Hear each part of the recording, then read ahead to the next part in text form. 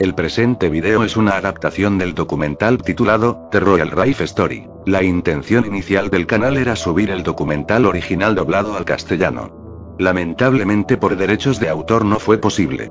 Por lo tanto hemos hecho esta versión ajustándonos al material original.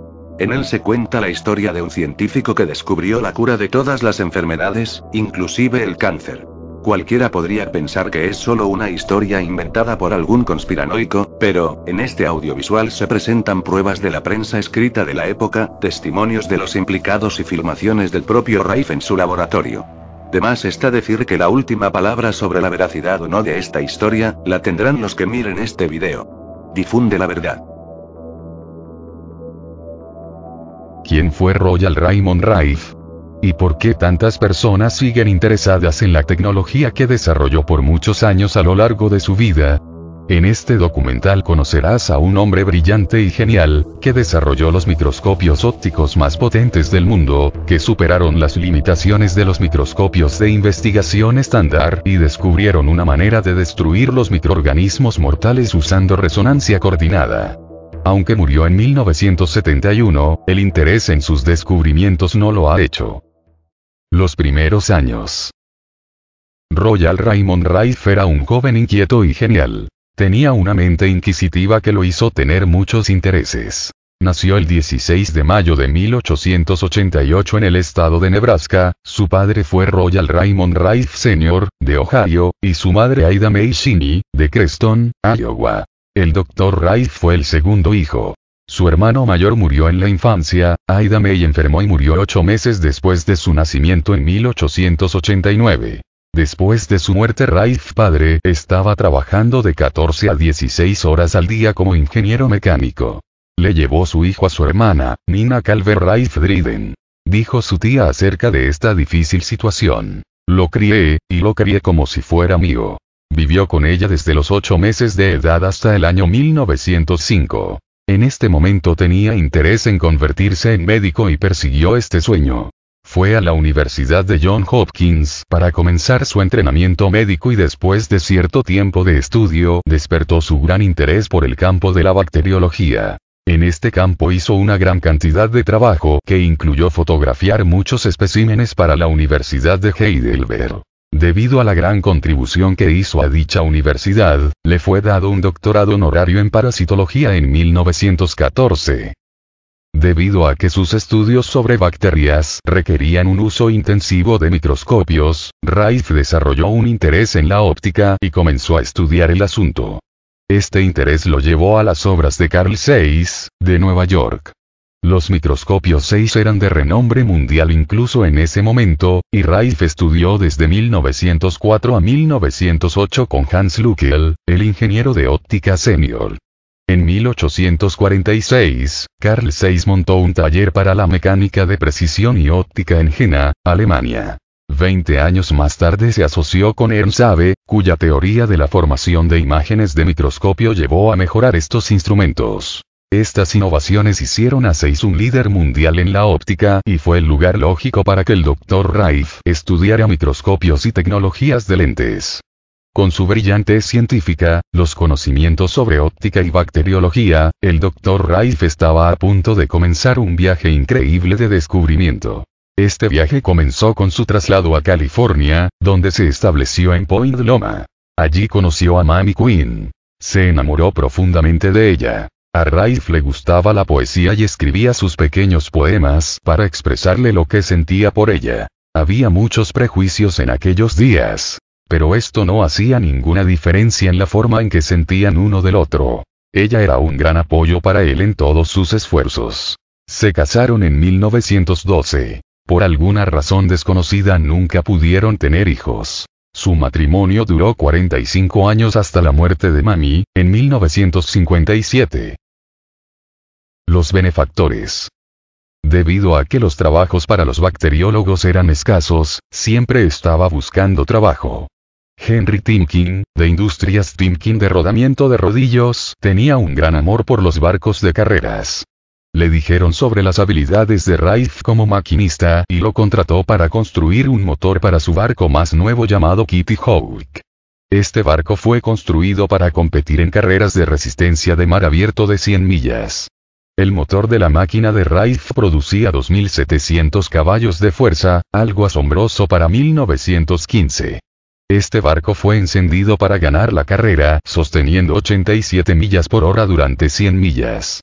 Esta marca estuvo invicta por más de 60 años. Henry Seiner, uno de los amigos y ayudantes de laboratorio que fue entrevistado por John Crane, en 1950, dijo lo siguiente acerca de cómo Timkin y Rife se conocieron. Ese hombre es un genio. Absolutamente genial, no hay dudas al respecto. Y todo lo hizo para uno de los mejores hombres de este país, el señor Timkin. Rife comenzó con esas cosas muchos años atrás. Siendo niño, en la escuela, le encantaban los botes. El señor Timkin por ese tiempo estaba en el negocio de las carreras y, entonces, alguien le contó sobre Rife.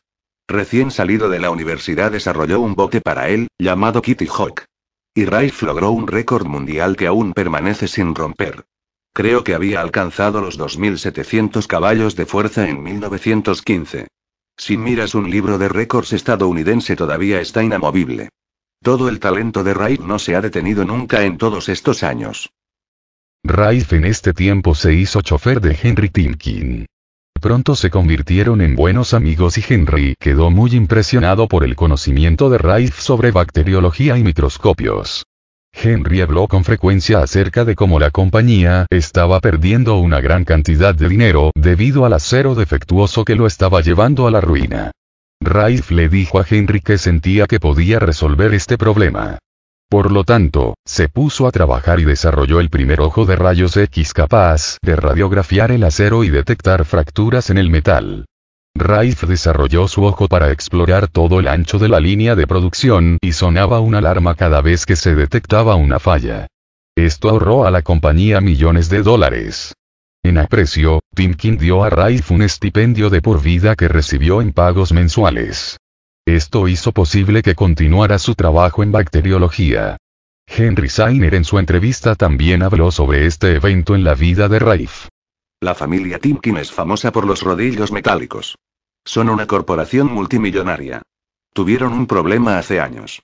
Estaban preocupados por cómo separar, cuando el acero entraba en el rodillo, aquella parte del acero o aquellas partes del acero que tuvieran tensiones y fortalezas.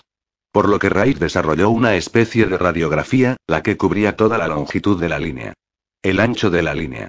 Y a medida que el metal atravesaba el rodillo central, ni bien había un estrés más allá de cierto límite, la luz roja brillaba y todas las piezas eran desechadas. Esto les ahorró a los Timkin millones de dólares y como reconocimiento de ese logro, los Timkin le dijeron a Raif y su esposa que les darían todo lo que quisieran. La hermana de Henry, Amelia Sebrich, se enfermó. Los médicos que la examinaron no pudieron descubrir la causa de la enfermedad. La situación de la señora Bridge empeoró y se sabía que si no encontraban la fuente del problema, ella no viviría. Henry sabía a través de sus muchas discusiones que Rife era brillante en el área de la bacteriología. Le preguntó a Rife si investigaría. Rife sospechaba que el problema podía ser algo que estuviera comiendo. Así que entró en la cocina y tomó muestras de toda la comida. Debido a sus estudios tenía unos pocos microscopios estándar de investigación y fue capaz de aislar las bacterias responsables del problema. La señora Bridge se recuperó completamente de su enfermedad. Ella tenía una condición muy seria. Estaba siendo envenenada por la comida que estaba en su refrigerador. Raif hizo un análisis muy cuidadoso de todo y descubrió cuál era el problema. Los doctores no lo sabían, pero él lo detuvo en ese mismo momento. Al igual que Henry, la señora Bridge le tomó mucho cariño y pudieron ver en él la semilla de un genio. Raif también fue chofer de ella.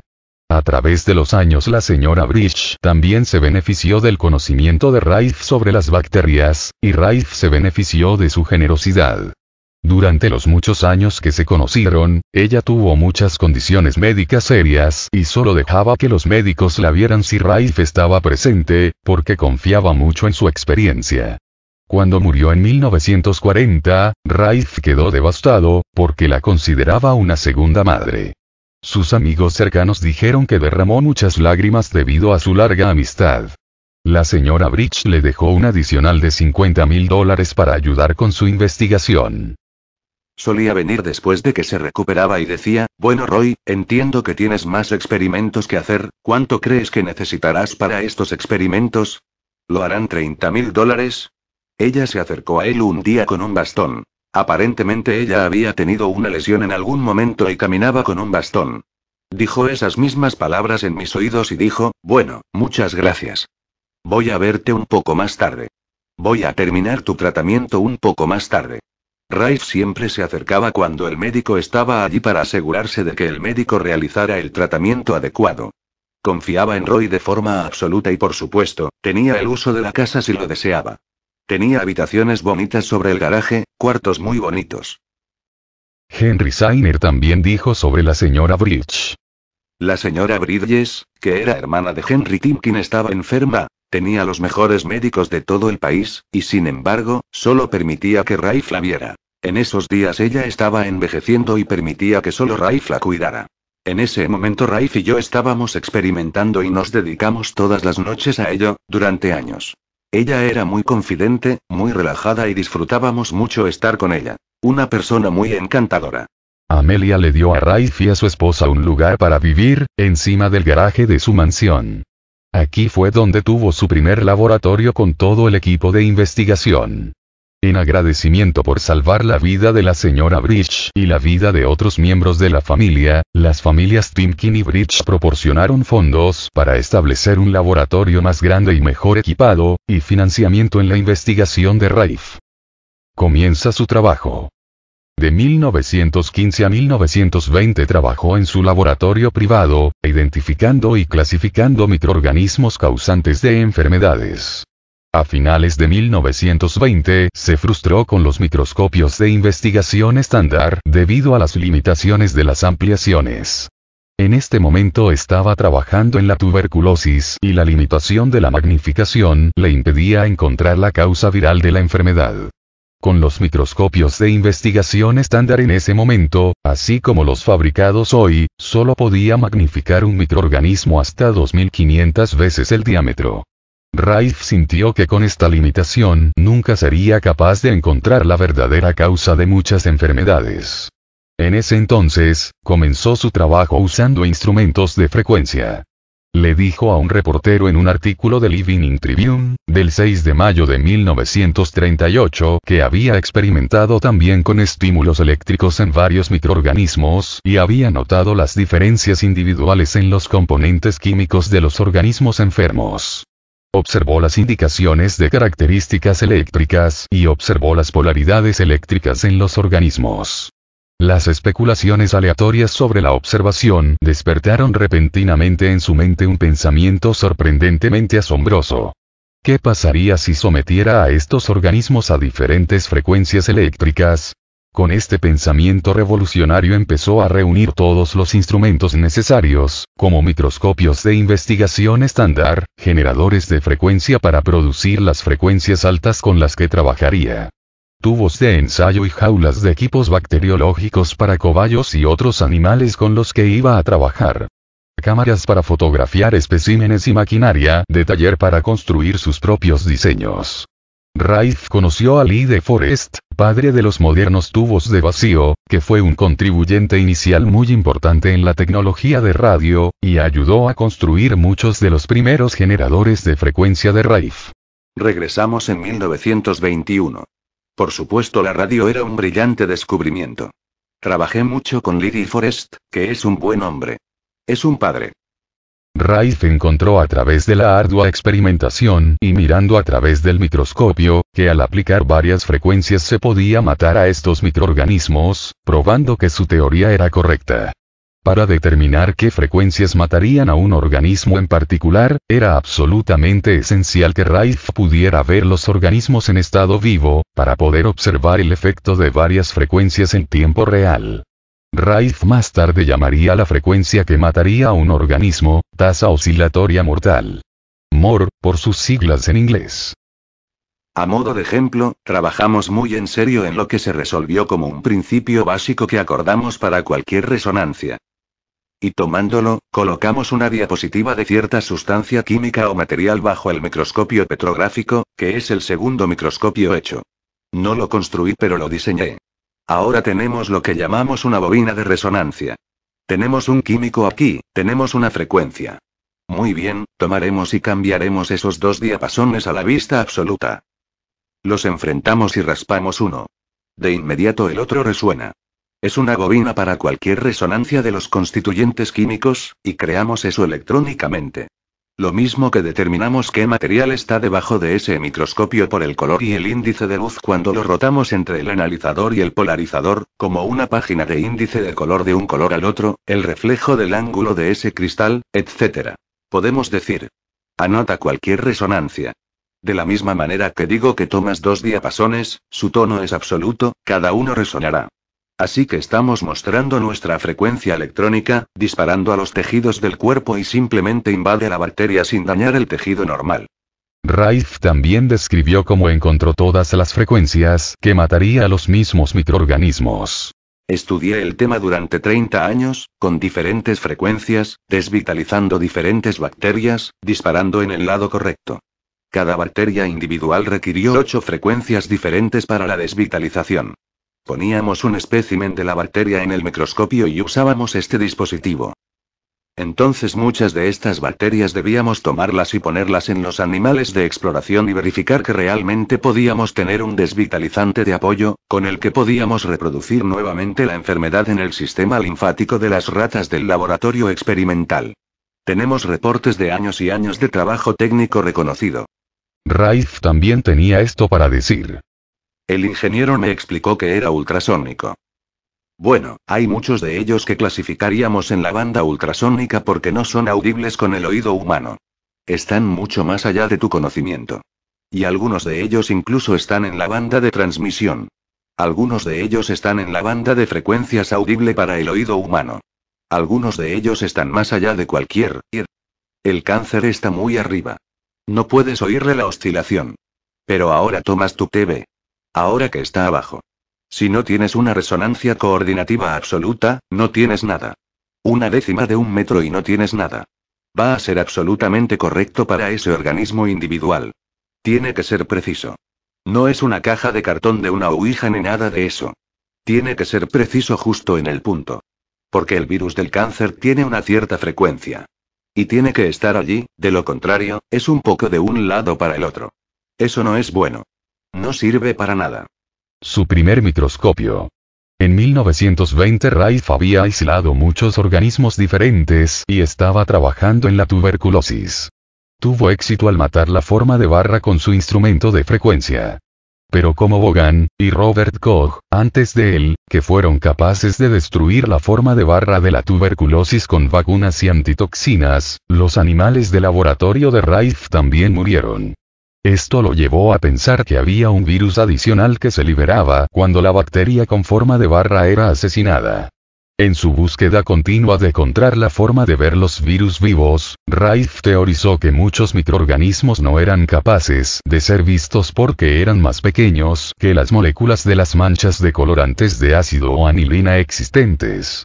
Con las limitaciones de los microscopios, estándares de investigación y su incapacidad para revelar lo que él creía que era un virus, el siguiente paso de Raif era resolver el problema de la gran ampliación, llamada límite de difracción de la parte delantera.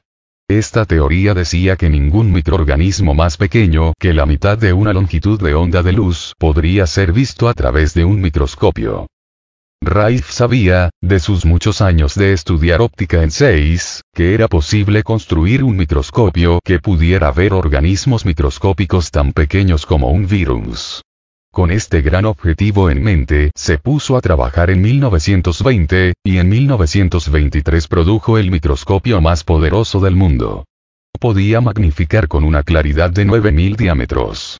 El Dr. Raif decía que ese microscopio podía alcanzar hasta 17.000 diámetros, pero no con demasiada claridad. Utilizando el microscopio durante los siguientes nueve años en su laboratorio privado, avanzó más en el campo de la bacteriología que cualquier científico antes que él. Obtuvimos el instrumento que usamos hasta 1931. Fue un microscopio de lentes donde todo el aire fue extruido del cuerpo y reemplazado con glicerina. Las lentes eran homogéneas con glicerina, y el resultado fue que permitió que las matrices se separasen y no se cruzasen en la banda de interferencia de reflexión, como lo hacen en el tubo estándar de un microscopio de investigación regular. Los mantuvimos separados y luego los juntamos y los recogimos de nuevo en una punta de aguja. Pero digo que la resolución de este instrumento más allá de alrededor de 9 a 10 mil veces disminuía decididamente rápido. Pudimos subir en algunas ocasiones, en algunas preparaciones hasta 17.000 veces, pero no consideramos que la resolución fuera algo común más allá de unas 8, 9 o 10.000 veces, dependiendo enteramente del espécimen que examinábamos. A lo largo de su trabajo, Raif había notado que cada cosa viva se compone de químicos y tiene su propia circunscripción química única. En su laboratorio había estado utilizando un microscopio petrográfico que podía identificar las sustancias químicas en un organismo por el índice de refracción del color. Sabiendo que cada producto químico iluminado emitía un color específico de luz, concibió la idea de manchar el virus con la luz que éste dispensaba con la necesidad de teñir especímenes, y hacer posible el uso de una frecuencia de luz para coordinar con los constituyentes químicos de la partícula o microorganismo bajo observación. Desarrolló y patentó la lámpara de 2000 velas de potencia que proporcionó la luz necesaria. Esta lámpara cuando se utiliza con el prisma de aumento LI, hizo posible separar frecuencias específicas de luz. En un artículo publicado en la revista de divulgación científica de junio de 1931, se explicó el método de iluminación. Una luz eléctrica de 2000 velas de potencia cae sobre el centro de la película microscópica de estudio, un pequeño lugar en la delgada capa de cuarzo transparente que lleva los gérmenes.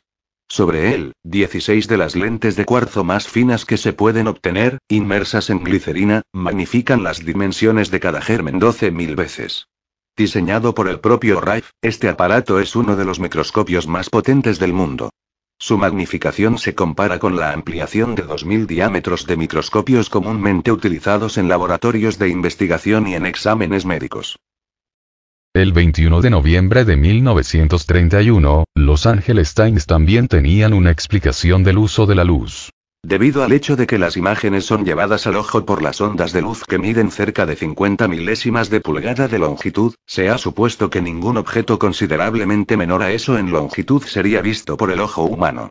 Con el uso de prismas de cuarzo, se entiende que el Dr. Rife ha roto las ondas de luz, haciendo posible traer objetos increíblemente pequeños a la vista. A través del nuevo microscopio, según las estimaciones, un objeto que mide 100 milésimas de pulgada de diámetro se magnificaría para aparecer de un sexto de pulgada de diámetro.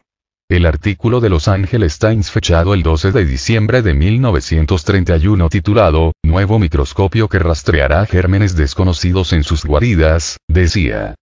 El Dr. Rice dice que los componentes para su microscopio se hicieron en muchas partes del mundo y que utilizó cristales de cuarzo, ya que permite de 48 a 50% más de luz que otros tipos de vidrio. Usaba una unidad de iluminación de 2000 velas con el instrumento. El haz de luz es frío, dijo, y ha tenido un espécimen vivo debajo de él durante 5 o 6 horas sin evaporación por calor. Ese instrumento que usamos hasta 1931, era un microscopio de lentes y todo el aire se extruía del cuerpo y se reemplazaba con glicerina. Las lentes eran homogéneas con glicerina. El resultado fue permitir que las matrices se separen y no se crucen en la banda de interferencia de reflexión, como lo hacen en el tubo estándar común de un microscopio de investigación regular. Los mantuvimos separados. Los separamos y luego los juntamos y los recogimos de nuevo en una punta de aguja. Pero digo que la resolución de este instrumento es aproximadamente entre 9 y 10 mil veces mayor. Pudimos aumentarla en algunas ocasiones. En algunas preparaciones hasta 17.000 veces, pero no consideramos que la resolución fuera algo común más allá de unas 8, 9 o 10.000 veces, dependiendo enteramente del espécimen que examinemos. ¿Cómo se explica esta gran ampliación en el microscopio? Debido a la distancia adicional, las separaciones, el poder de la luz y también el control de la iluminación. Porque no se puede manchar esas partículas con un manto ácido y tenerlas. Como dije mil veces, las partículas son más pequeñas que las porciones moleculares o que la estructura granular del manto ácido y las tinturas. Solo pueden teñirse con una frecuencia de luz y la luz polarizada lo demuestra. Con una luz polarizada sabemos qué químicos están presentes en una piel de cebolla. Con esta nueva capacidad de teñir microorganismos con una frecuencia de luz que se coordinaba con sus constituyentes químicos, fue capaz de ver la forma del virus de la tuberculosis que se liberaba cuando la forma de barra era destruida. Entonces fue capaz de encontrar la frecuencia que mataría el virus. Aislé el virus de la tuberculosis, que considero es la forma ideal, llamada barra molecular de veneno, hace 24 años por un accidente químico. Todo el trabajo se remonta al Dr. Koch, que originalmente aisló el bacilo de la tuberculosis. Lo produjo. Las vacunas con una antitoxina mataban al bacilo de la tuberculosis pero también mataban al paciente. Raif es reconocido a pesar de la abundancia del trabajo en silencio en su laboratorio, sus logros comenzaron a llegar a los hombres de la comunidad médica. Un reportero del San Diego Unión se enteró de los brillantes descubrimientos y después le hizo una entrevista sobre su increíble microscopio. Un artículo apareció en la primera página del periódico el 3 de noviembre de 1929. El título decía, Un hombre local descubre las maravillas de la vida de los Gémenes. El artículo describía las fotos de varios microorganismos que se habían aislado y filmado. Después de este artículo fue presentado en muchos otros periódicos y revistas prominentes. A medida que las noticias de sus logros se extendían, médicos y bacteriólogos de todo el mundo eventualmente llegaron a San Diego para ver por sí mismos el microscopio y los nuevos descubrimientos que habían estado escuchando. El Dr. Johnson, el Dr. Kendall y el medio K. A finales de 1931, las noticias sobre el microscopio de Rife habían llegado al Dr. Arthur Isaac Kendall, profesor de investigación de bacteriología en la Facultad de Medicina de la Universidad del Noroeste de Chicago. Se puso en contacto con su amigo el Dr. Milbank Johnson de Los Ángeles y le preguntó que si semejante microscopio existía. En Los Angeles Times del 27 de diciembre de 1931, la historia de cómo el Dr. Johnson, Kendall y Rife se conocieron se cuenta. Habiendo oído hablar de un microscopio maravilloso que había sido inventado por un joven de San Diego, el Dr. Kendall preguntó a su amigo, el Dr. Milbank Johnson de Los Ángeles, si tal microscopio existía. El Dr. Johnson no lo sabía, pero se comprometió a averiguarlo. Acompañado por el Dr. Alvin Hefford, Joseph Heiger, y Fosdick Jones, todos de Pasadena, condujeron a San Diego y encontraron a Royal Raymond Rife y un nuevo tipo de microscopio que había estado desarrollando, como un hobby, durante los últimos 17 años. Diseñado con un plan completamente nuevo, este microscopio tiene seis lentes de cuarzo, lo que le da un poder de aumento ocho veces mayor que los microscopios de alta potencia utilizados por los físicos. El Dr. Milbank Johnson arregló para que el Dr. Kendall y el Dr. Rife se reunieran en el hospital de Pasadena. Esta reunión entre Rife y esos médicos fue un hito importante en su trabajo. El Dr. Kendall trajo consigo cultivos de bacilos de tifus que habían crecido en su medio K, un medio de cultivo de proteínas que había desarrollado. Este medio permitía aislar las porciones de virus filtrables de una bacteria y continuaban reproduciéndose sin necesidad de tejido vivo para su crecimiento. Había y sigue habiendo un desacuerdo continuo sobre si las bacterias podrían cambiar del tamaño de un virus de una forma filtrada, a el bacilo normal que se puede observar a través de un microscopio estándar. Finalmente construí mi primer microscopio de alta potencia. Con ese instrumento el Dr. Kendall y yo trabajamos conjuntamente en el Hospital General de Pasadena. Logramos aislar lo que clasificamos la primera forma de bacteria filtrable jamás vista. Fue aislada del bacilo tifoideo del cultivo del Dr. Kendall que trajo de su laboratorio en la Universidad de Northwestern en Chicago, y logramos definitivamente aislar la forma de esa bacteria. Tuvimos éxito en aislar este organismo utilizando el medio Kendall. Eso fue lo que Kendall usó para el aislamiento, o para sacar a la luz el bacilo del tifus a un estado filtrable. Nuestro informe conjunto sobre el tema se publicó en el California Western Medicine, en 1931. Virus y mutación. En un artículo en el Boletín Científico del 12 de diciembre de 1931, se afirma. El material utilizado por el Dr. Kendall era un cultivo del bacilo tifoideo, comúnmente un germen bastante grande, fácilmente visible bajo las lentes de mayor potencia de un microscopio compuesto. alimentándolo en su medio K recientemente desarrollado, que aparentemente tiene el poder de hacer que todas las bacterias visibles pasen a ser invisible, o sea, pasen a la fase filtrable, el Dr. Kendall indujo a los vacilos en sus cultivos a pasar por este cambio. Bajo la más alta potencia del microscopio ordinario, no veía nada moviéndose en el fluido. Esperaba un enjambre de pequeños gránulos bastante activos que solo eran visibles como pequeños puntos móviles. Examinados con el microscopio, sin embargo, estos puntos se hicieron claramente visibles como cuerpos pequeños, ovales, que se movían activamente, de color azul turquesa. Estos aparecieron en todos los cultivos, y se pueden transferir de un cultivo a otro a través de los filtros de poro fino. Así que el Dr. Kendall los consideraba como la forma realmente filtrable del bacilo tifoideo. Utilizando el microscopio de Rife y el medio de Kendall, los médicos pudieron observar estas etapas del desarrollo del bacilo tifoideo. Este experimento mostró que los virus y las bacterias eran capaces de mutar o cambiar su forma, hecho que es entendido hoy, pero que generó mucha controversia.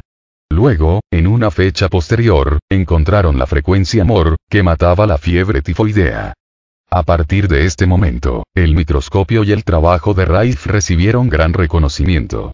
Terminó trabajando muy de cerca del Dr. Alvin Ford, patólogo del Hospital de Pasadena, que más tarde se convirtió en presidente de la Asociación Americana de Patólogos y del Dr. Milbank Johnson, entonces director médico de la compañía de seguros de vida Mutual Pacific.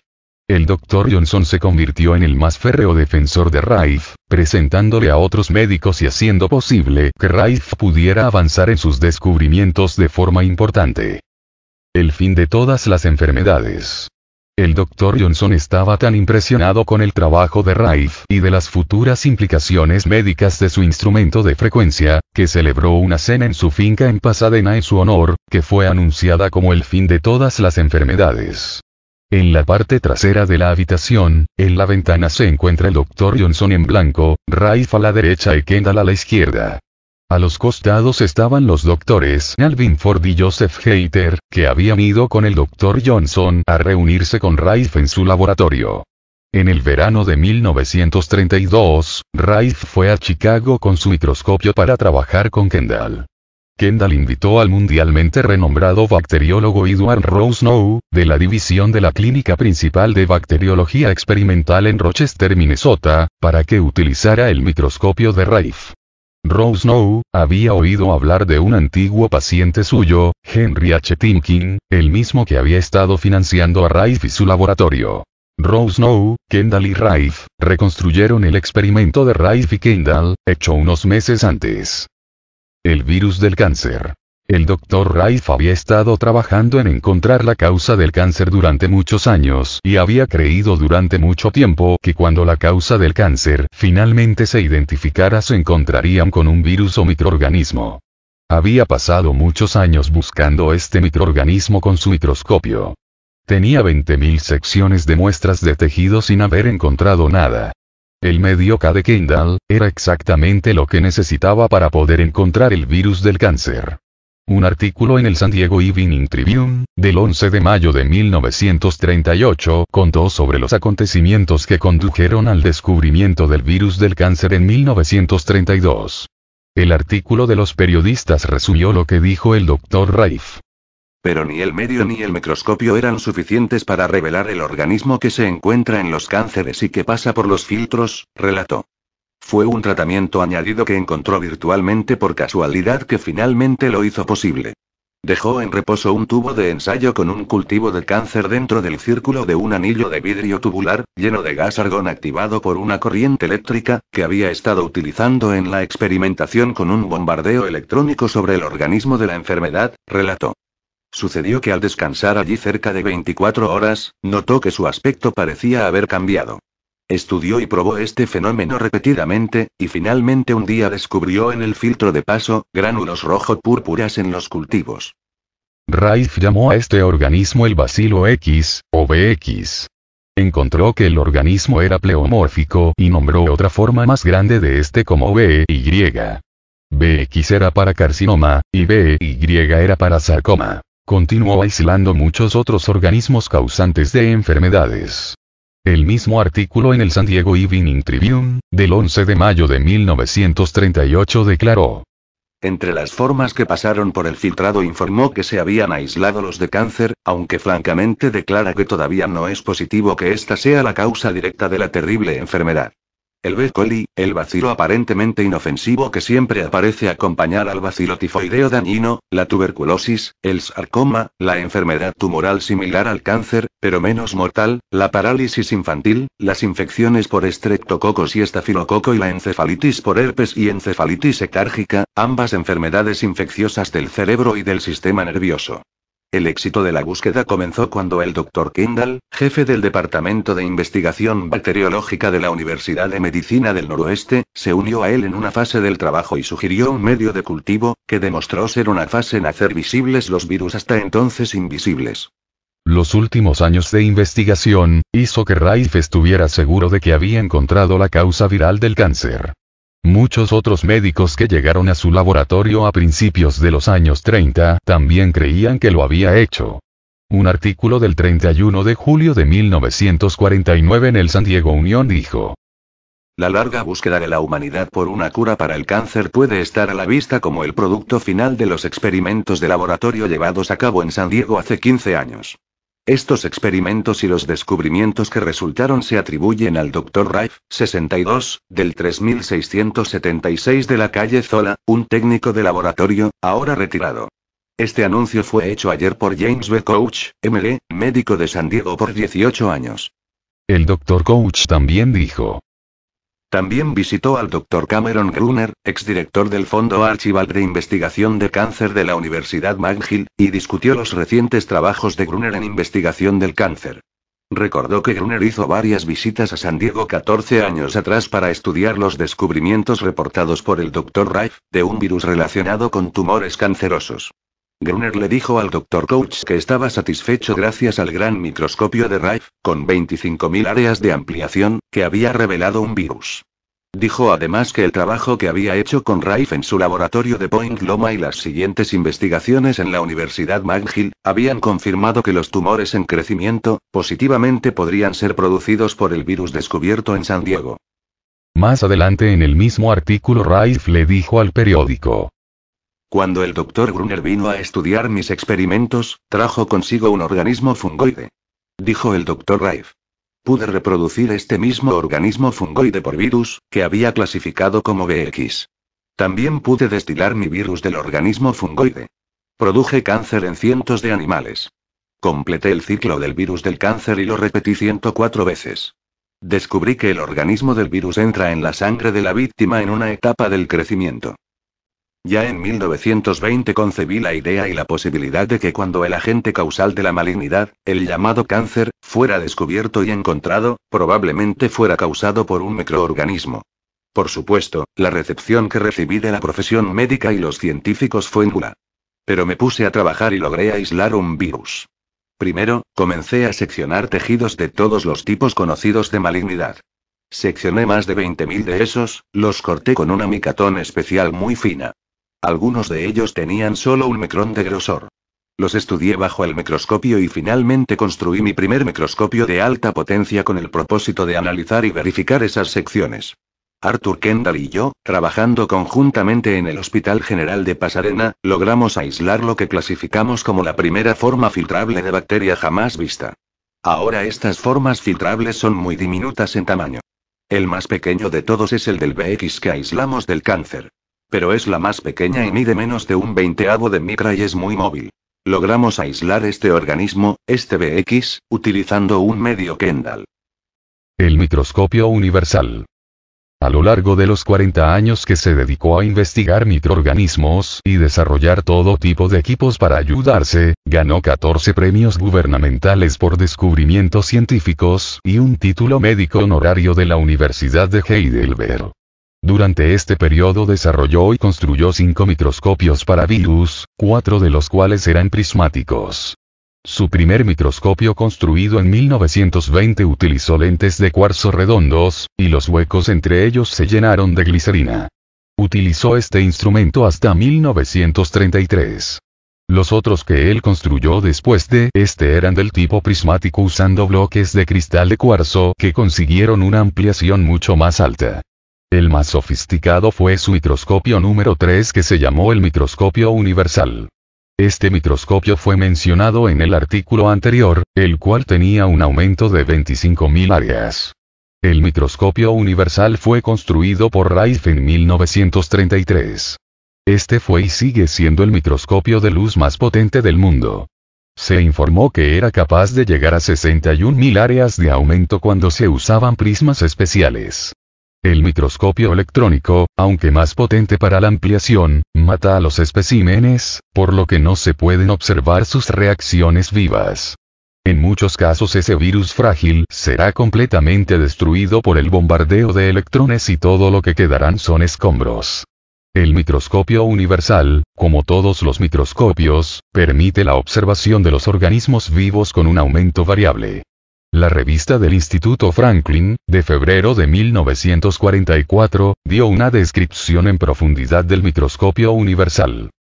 El microscopio universal desarrollado en 1933 consta de 5.682 partes y se llama así por su adaptabilidad en todos los campos del trabajo microscópico estando totalmente equipadas con unidades de condensador de subestación independientes para haz transmitido y monocromático, polarización de campo oscuro y ultrailuminación con hendidura, incluyendo también un dispositivo especial para cristalografía. Todo el sistema óptico de lentes y prismas, así como las unidades de iluminación, están hechos de bloques de cristal de cuarzo. El cuarzo es especialmente transparente a las radiaciones ultravioletas. La unidad de iluminación utilizada para examinar las formas filtrables de los organismos patógenos contiene 14 lentes y prismas, tres de los cuales están en la lámpara incandescente de alta intensidad, cuatro en el prismas de Risley, y siete en el condensador cromático. Entre la fuente de luz y el espécimen se aprietan los bloques de prismas de cuarzo de forma de cuña circular, con el fin de polarizar la luz que pasa a través del espécimen. Un haz de luz monocromático que corresponde exactamente a la frecuencia del organismo se envía a través de la muestra y es transmitida por la luz directa. Esto permite al observador ver el organismo manchado en su verdadero color químico y revela su propia estructura individual en un campo que es brillante con la luz. Los objetivos utilizados en el universal son, 1.1 para las tierras secas, 1.16 para inmersión en agua, 1.18 y 1.25 para inmersión en aceite. Los rayos de luz refractados por el espécimen entran en el objetivo y luego son llevados por el tubo por rayos paralelos a través de 21 curvas ligeras hacia el ocular. Solo se permite una tolerancia de menos de una longitud de onda de luz visible en el haz central. Los rayos comienzan a quedar paralelos entre sí, pero justo cuando están a punto de cruzarse, un prisma de cuarzo especialmente diseñado se inserta para sacar los paralelos de nuevo. Otro prisma se inserta cada vez que los rayos están a punto de cruzarse. Así, la mayor distancia de la imagen en el universal se proyecta a través de cualquier medio de cuarzo o de aire, es de 30 milímetros en lugar de los 160, 180 o 190 milímetros como en el tubo vacío o lleno de aire de un microscopio ordinario. Bajo el microscopio universal se pueden observar sucumbir organismos tales como tuberculosis, cáncer, sarcoma, estreptococo, tifoidea, estafilococo, lepra, fiebre aftosa y otros pueden ser observados sucumbiendo cuando están expuestos a ciertas frecuencias letales coordinadas con las frecuencias peculiares particulares a cada organismo individual y dirigidos sobre ellos por los rayos que cubren una amplia gama de ondas. Debido a que el microscopio universal tenía la capacidad de utilizar todo tipo de trabajo microscópico, era muy complicado. Costó más de un cuarto de millón de dólares el construirlo en 1933, poco más de 11 millones de dólares en la actualidad. Este instrumento, junto con otros instrumentos sofisticados construidos por Rife, le permitió encontrar las muchas frecuencias que matarían todos los diferentes tipos de microorganismos que estaba aislando. El microscopio universal estudia todo el campo de la luz polarizada. Es la encarnación de todos los campos de la cristalería. Encarna la luz polarizada. Dicha luz encarna el campo de la accesibilidad. Creemos que este instrumento abrirá un campo que nunca ha sido visto por los ojos humanos. No decimos que el médico promedio o incluso el investigador científico promedio no puedan usar este microscopio. Tendrán que ser entrenados porque los delicados ajustes del sistema superan con creces cualquier cosa que se haya usado en el campo de la microscopía. Como un ejemplo, el ajuste fino de este sistema se requiere siete revoluciones completas para el movimiento del objetivo una micra. El control de la cosa se construye hasta el límite de la precisión humana y continuaremos con este instrumento. Lo que quiero enfatizar en este momento es la importancia del control de la iluminación de cualquier campo de la microscopía, así sea con un microscopio común usado por nuestros estudiantes, o el practicante, o el investigador en el laboratorio, o el científico que está trabajando en el campo del virus filtrable. Esta carta de colores fue creada por Raif para mostrar todo el espectro de ondas de frecuencia que estaba probando, incluyendo infrarrojos, ultravioletas y rayos X. Asigno colores a diferentes conjuntos de frecuencias de la gama de audio, representada por el teclado, a través del espectro de radio de hasta 110 MHz, aunque en sus instrumentos de frecuencia nunca utilizó una frecuencia superior a 20 MHz sobre ningún microorganismo. Encontró a través de su investigación que había muchos armónicos diferentes en las frecuencias que podían matar a varios microorganismos. El laboratorio de Raif esta es una película original hecha en 1936 que muestra el laboratorio del Dr. Raif y el aislamiento del virus del cáncer. Este es Raymond Raif parado fuera de la puerta de su laboratorio. Aislamiento del virus del cáncer. Cuando aisló el virus del cáncer en 1931, tomó una masa mamaria humana sin clasificar del sanatorio y hospital Paradise Valley, donado por el Dr. Richard T. Hammer, quien era el superintendente asistente.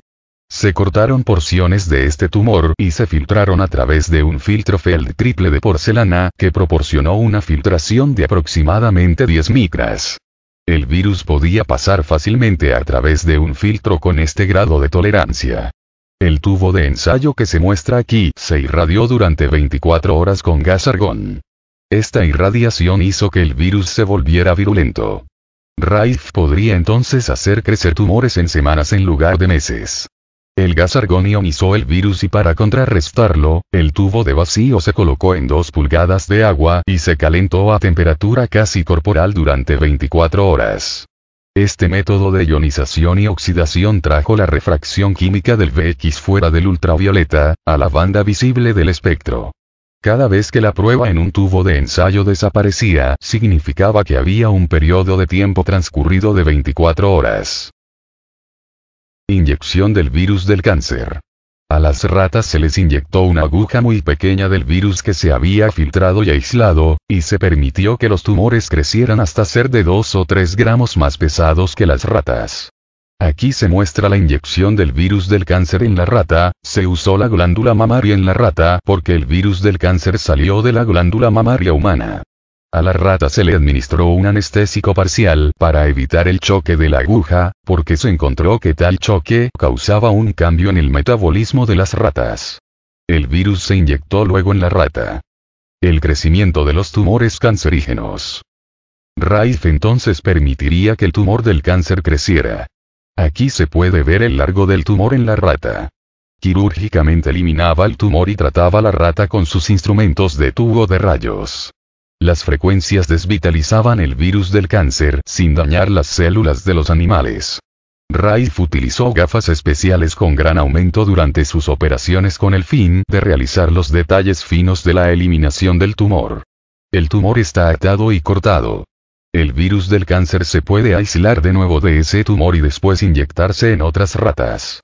Raif pasó por este procedimiento 411 veces para demostrar que el virus que aisló fue la causa del tumor de cáncer. Esto muestra el tumor que sale de una solución de agua destilada triple, una porción de ese tumor se está cortando de modo que se pueda observar el virus del cáncer bajo el microscopio de Raif. Raif tenía el único microscopio en el mundo que podía ver el virus del cáncer o cualquier otro virus vivo, y los estudió durante años. Este es el agua destilada triple que introduce. Raif muele suavemente el tumor del cáncer para extraer el virus. Se trata de un filtro de porcelana Burkefeld, similar a la porcelana china sin esmaltar. El material líquido se vierte en un tubo de ensayo y se remueve una gota de ese líquido que pronto se colocará en un portaobjetos que ha sido esterilizado a la llama.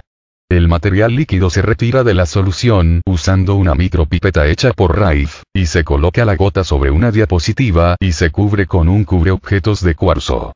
Raif fundió las láminas de cuarzo porque la luz pasaba mejor que por el vidrio. Ahora directamente encima de la cabeza de Raif está el tubo de rayo que se activará más tarde para matar el virus.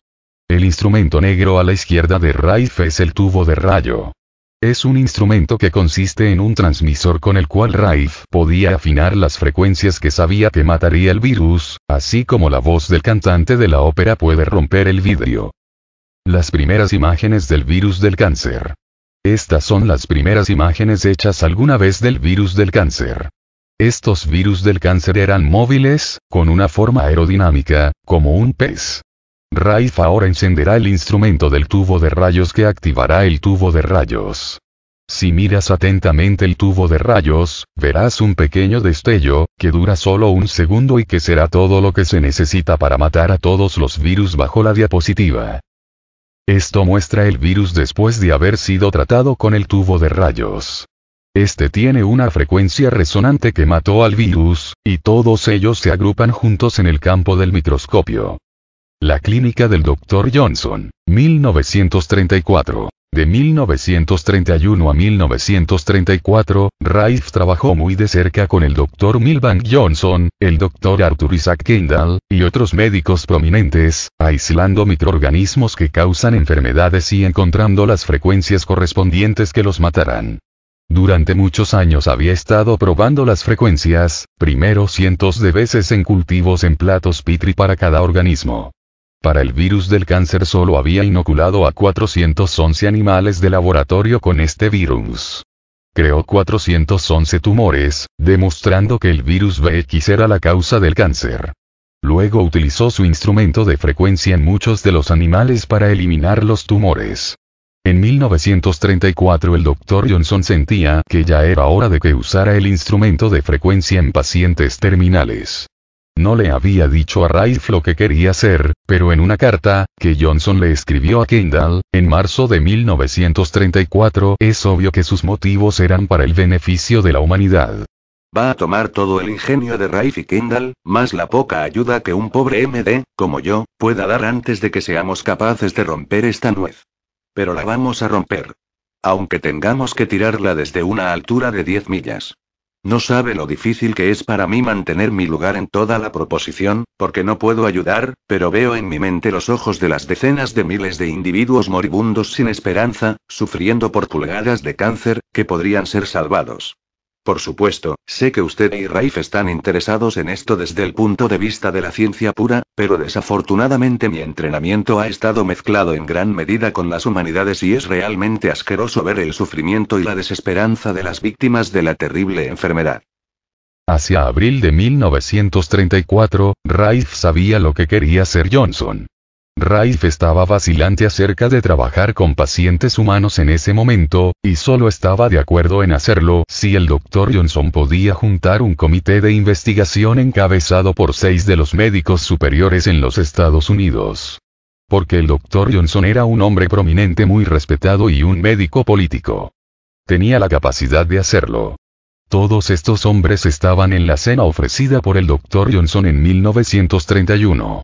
Este grupo de hombres, incluía al Dr. George Fisher, del Hospital Infantil de New York, al Dr. Wayland Morrison, cirujano jefe del Santa Fe Railway. Al Dr. George Dock, Arthur Kendall, director de la Escuela de Medicina del Noroeste y al Dr. Alvin Ford, presidente de la Asociación Americana de Patólogos. También quería que el comité médico estuviera bajo una universidad legitimada. El Dr. Johnson arregló con la Universidad del Sur de California para patrocinar el comité de investigación. Con todos estos requisitos bajo el control del Dr. Johnson, la clínica de 1934 estaba lista. Ahora verían si el instrumento funcionaría en pacientes con enfermedades terminales que no tenían esperanza. La clínica duró aproximadamente 70 días y se llevó a cabo en la casa de Ellen Scripps, cerca del anexo del Instituto Scripps, en La Joya. Al final de los 70 días, el comité de investigación declaró que 14 de 16 pacientes se curaron clínicamente. Una tasa de éxito del 87,5%. Los dos pacientes restantes no se habían recuperado completamente al final de la clínica y el Dr. Johnson eligió al Dr. Coach para terminar sus tratamientos. 60 días después esos pacientes se habían recuperado completamente también. Tuvimos una clínica en 1934 en La Joya. El Dr. Milbank Johnson, un amigo mío que estaba en Los Ángeles, era uno de los principales miembros de la compañía de seguros de vida, Pacific Mutual Life. Un multimillonario, dicho sea de paso, era un político médico, tenía gran poder, y podía poner a estos muchachos a trabajar. Y entonces tuvimos esta clínica. Yo no quería ir, pero él decía que todo iba a salir adelante. Eso fue solo poco después que la señora Ellen Scripps muriera. Alquiló toda la casa de la señora Scripps. Dirigimos una clínica, estuvimos allí 90 días, realmente dirigimos la clínica. Diría que 70 días hicimos trabajo clínico real. Y primero le dije que quería que se hiciera en un orden legítimo. Le pedí que rodeara a nuestro comité con un grupo de seis de los hombres más importantes que se podía elegir en los Estados Unidos. Eres lo suficientemente político como para poder hacer eso.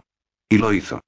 Consiguió a Fisher de New York, a Wayland Morrison, a George Dog de Pasadena y otros. Quería como patólogo a Alvin Ford, que es amigo de los dos. Bueno, me dice, has mirado mil tejidos de Alvin. No hace ninguna diferencia, le dije. Es el presidente de la Asociación Estadounidense de Patólogos y quiero su nombre en cada uno de estos casos que tratamos. Le pedí organizar un comité de investigación médica especial bajo una universidad de buena fe, lo cual hicimos con la Universidad del Sur de California, a la que el Dr. Johnson había contribuido a su biblioteca, etc.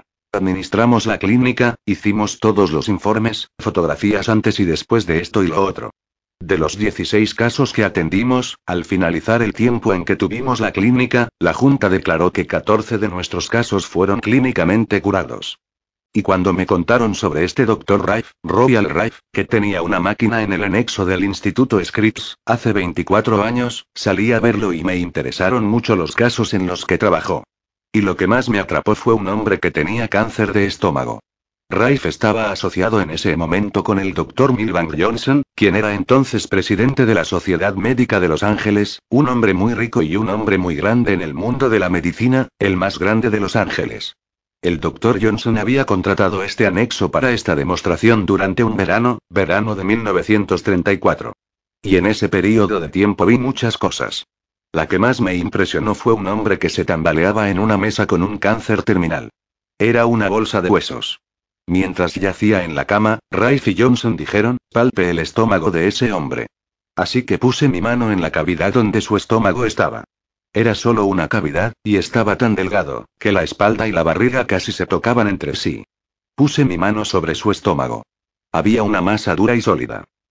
Más o menos la podía cubrir con la mano, algo en forma de corazón. Era absolutamente sólido y pensé que no se podía hacer nada. Sin embargo, le dieron un tratamiento con las frecuencias Rife, y en el transcurso del tiempo, durante un periodo de seis semanas a dos meses, para mi asombro, se recuperó por completo.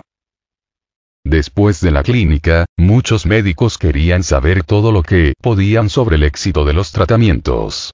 En 1935, Johnson escribió una carta confidencial al Dr. Mildred Sharm, secretario de la Fundación Internacional de Investigaciones sobre el Cáncer en Filadelfia. En la carta explicó por qué no habían mantenido registros clínicos perfectos. La clínica fue abierta y manejada por mí, para satisfacerme personalmente sobre si el rayo destruiría organismos patógenos in vivo así como in vitro. Esto último se había demostrado en repetidas ocasiones en el laboratorio. Tuve que tener esta información concluyentemente positiva antes de que pudiera recomendarla a mis amigos, para entrar en el trabajo y para llegar a una conclusión lógica. Al no tener enfermeras o secretarias en la joya, los registros, si bien son verídicos, son más o menos fragmentarios y no guardados para un cuidadoso escrutinio por el científico hermano. Como le dije, cuando empecé este trabajo pretendía financiarlo hasta el final. La única asistencia que esperaba obtener era la cooperación que podría recibir de otros médicos al trabajar con el microscopio y el rayo. Ahora que tenemos que convencer a muchos otros hombres con síndrome de abstinencia, tendremos que entregar una nueva hoja y hacer nuestro trabajo sujeto a la inspección de otros. Debido al éxito de la clínica de 1934, varios médicos adquirieron los instrumentos de frecuencia y comenzaron a usarlos en pacientes. El Dr. Johnson adquirió un instrumento de frecuencia y lo usó en su clínica hasta su muerte en 1944. Otros ensayos clínicos se hicieron en 1935, 36 y 37, incluso después. Y la tasa de éxito en esas clínicas fue alrededor del 90%. En estas clínicas se trataron todos los tipos de afecciones. Teníamos la máquina. Me gustaba la parte principal. Fue llevada al sanatorio Paradise Valley donde el Dr. Hammer era el superintendente. Hammer había sido curado con la máquina de un científico. Estaba muy impresionado con los tratamientos que había conseguido para curar su enfermedad. Así que pidió permiso para llevar una máquina a la sala interior del hospital. El Dr. Hammer como superintendente podía hacer eso, y tenía un técnico excelente que hacía su trabajo y el técnico hacía los exámenes cada semana. No importa su nombre por el momento, un hombre muy prominente. Bueno, esta máquina se puso en medio de la gran cantidad de personas y se les dio tratamiento, por lo que se la ingresaba a la habitación todos los días. El doctor Hammer me dijo esto personalmente y su asistente técnico también. Y ambos coincidían. Él dijo, Doctor Coach, estábamos estancados. Todos esos viejos casos de colitis crónica y otras cosas que tuvimos allí por mucho tiempo, se curaron milagrosamente. Él dijo, yo nunca vi nada igual en mi vida. Y cuando comenzamos a limpiar todos estos viejos pacientes crónicos del hospital, los doctores cuyos pacientes les pagaban bien, se indignaron mucho al respecto, y ordenaron sacar la máquina del edificio o no enviarían más pacientes. El rayo de Raif. El instrumento utilizado en la clínica de 1934 tuvo sus orígenes cuando comenzó sus experimentos sobre los efectos de las frecuencias en los microorganismos. Un documento encontrado en los archivos de Raif, escrito por uno de sus ayudantes de laboratorio y titulado El desarrollo del rayo y el uso en la creación de microorganismos patógenos, explica la evolución o el avance de su instrumento de frecuencia. En enero de 1920 se iniciaron experimentos para determinar el efecto de influencias eléctricas sobre microorganismos patógenos. Se realizaron pruebas para las influencias de la polaridad del ánodo y del cátodo y los efectos del infrarrojo ultravioleta y la radiografía. El aparato inicial para las pruebas a lo largo de esta línea de experimentos se construyó y utilizó en experimentos prolongados durante 1921 y 1922. En 1923 se montó y utilizó un aparato más apropiado.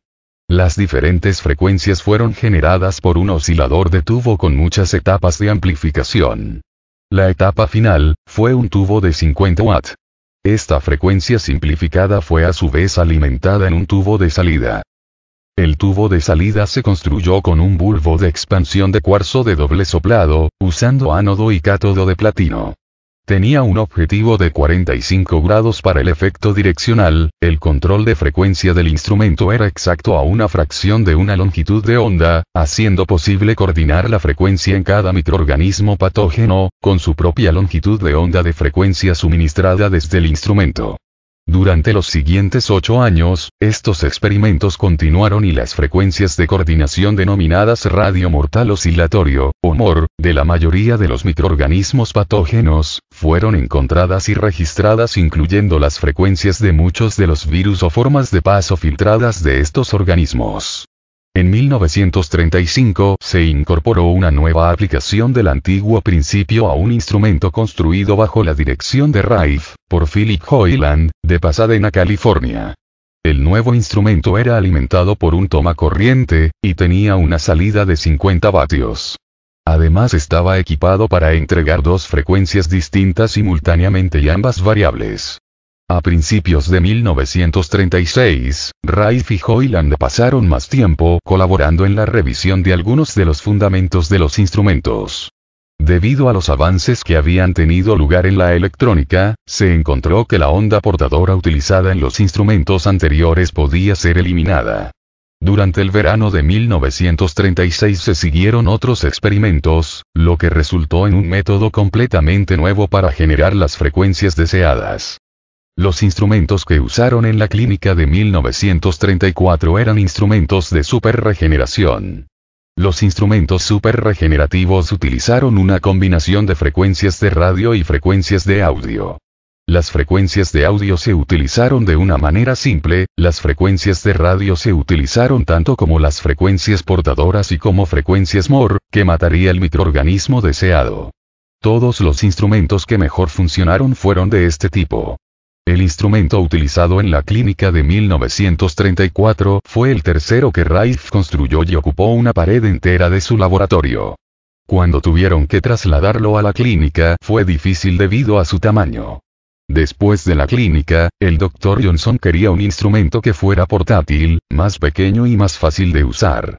El Dr. Johnson bajo la dirección del Comité Especial de la Universidad de California de Investigación Médica y con la aprobación del Dr. Rife, contrató al ingeniero eléctrico Philip Hoyland para construir este nuevo instrumento. Hoyland lo completó para otoño de 1935 y se le llamó el rayo de Rife número 4. También era un instrumento de superregeneración, y funcionaba mejor que el instrumento número 3, porque tenía más potencia de salida. La corporación Bimray de 1930. En 1936, el ingeniero de Rife, Philip Hoyland, se reunió con C.R. Hutchinson, un promotor que llegó con la idea de la fabricación comercial del instrumento de frecuencia. Ellos, junto con el Dr. Coach y Ben Kalin, amigos de Rife desde 1913, aparecieron con la idea de empezar una empresa que tendría derecho a construir y vender los instrumentos de frecuencia a los médicos de todo el mundo. Rife después de mucha consideración decidió seguir adelante con la corporación Binray, mientras se cumplieran estas dos condiciones se adherirían a los principios básicos originales del instrumento de frecuencia y cada instrumento sería probado a fondo para asegurarse de que mataría las bacterias y virus patógenos deseados. En la década de 1970, el Dr. John Hubbard entrevistó a Bertrand Comperate, abogado de Rife, y dijo esto sobre la formación de la corporación Bimray. Entonces, Rife se estaba impacientando, aquí había algo con posibilidades notables para el bien de la humanidad, y él quería que se usara para sanar a la gente. Y luego incorporó a Hoyland como su socio, y Hoyland quería algunos beneficios financieros. Eso llevó a la organización de Beam Ray Incorporated. Philip Hoyland había diseñado y construido un nuevo instrumento para la empresa Beam Ray en 1936. Hoyland quería proteger a la empresa de personas sin escrúpulos que trataran de robar su instrumento y porque no habían podido patentarlo. Bertrand Comperate dijo esto. Ese es un dispositivo relativamente simple de hacer, incluso en aquel entonces. La estabilidad, eso es otro asunto. Y que era la razón por la que no era posible la protección de patentes, porque incluso si pudiéramos inventar un nuevo generador de frecuencias, las que ya están en uso podrían hacer lo mismo. Entonces, tenían que mantener el secreto del asunto. Y el único secreto que tenían, naturalmente, era cuáles eran las frecuencias útiles. Este instrumento de haz de rayos también parece haber sido un instrumento súper regenerativo porque tenía una frecuencia portadora fija, y en la parte frontal del instrumento tenía dos marcadores variables para cambiar la frecuencia alta mor, y la frecuencia de audio pero había algunos problemas con ella. Hoyland cambió el instrumento para que trabajara con armónicos para intentar ocultar las frecuencias. Esto violó el convenio con el Dr. Rife de que los principios originales serían usados.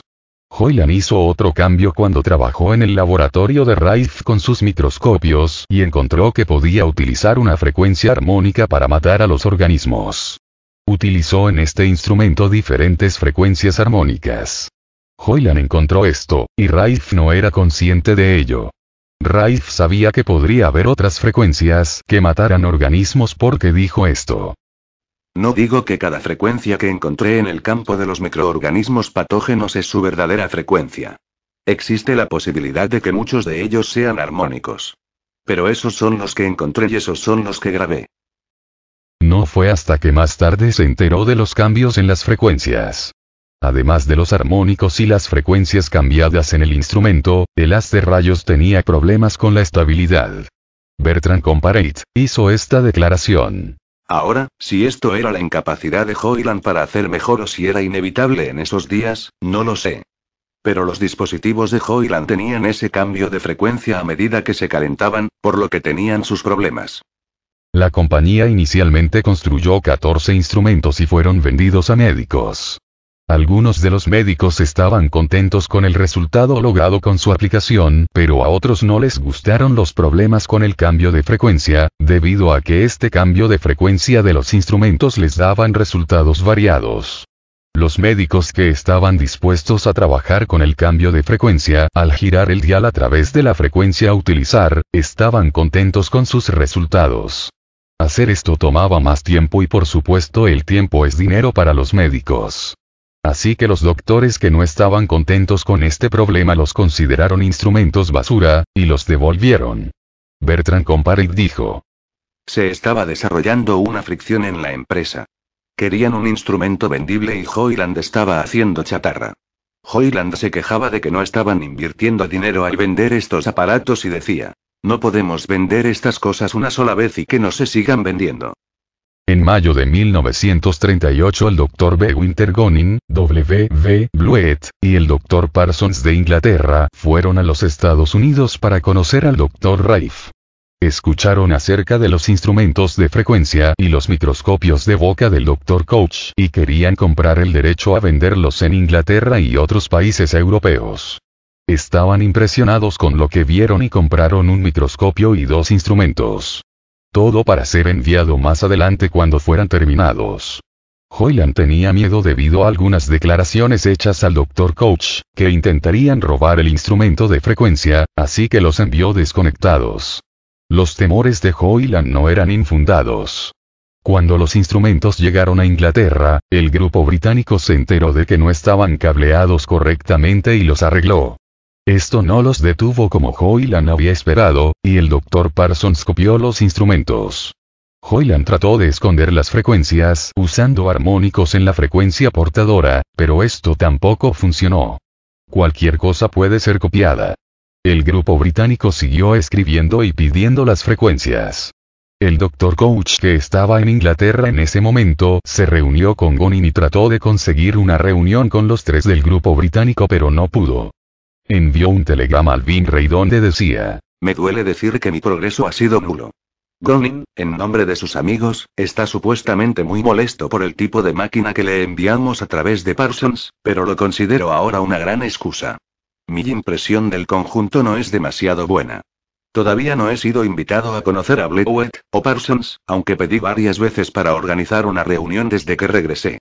Lo que realmente ha ocurrido es, Parsons en el teléfono antes de la llegada de Gonin declaró que la máquina estaba en la aduana en espera del regreso de Gonin, pero, por desgracia, cuando contacté a Gonin después de su llegada aquí hace dos o tres días, evidentemente no sabía la parte del discurso porque afirmó que Parsons había tenido la máquina en su oficina, pero era tan inadecuado para la inspección de la oficina por médicos visitantes que le había ordenado que la llevara a su casa para sacarla de la vista.